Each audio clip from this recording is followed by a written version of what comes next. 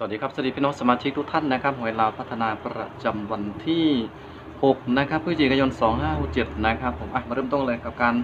กลับมาลงครั้งแรกนะครับ ผมก็ไปดูกันที่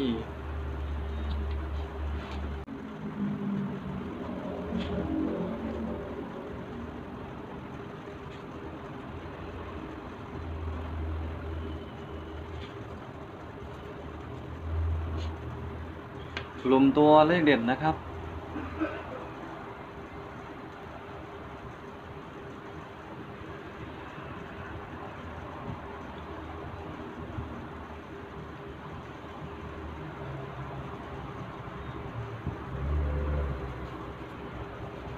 สามสี่แปดเก้าหนึ่งหกนะครับ ผมสูตรเด่นนะครับ ตัวเลขที่คัดออกมาได้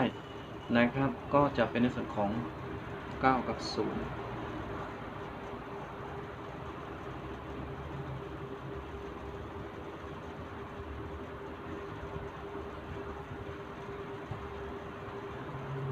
ตัวชนอยู่ที่ 9 นะครับผม เดี๋ยวมาดูกันว่าจะมาหรือเปล่า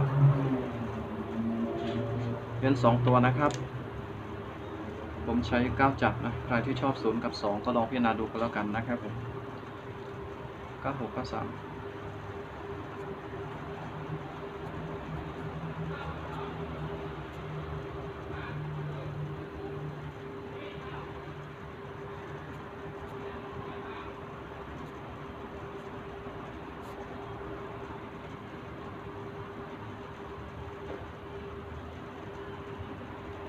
ก็จะประมาณนี้นะครับผม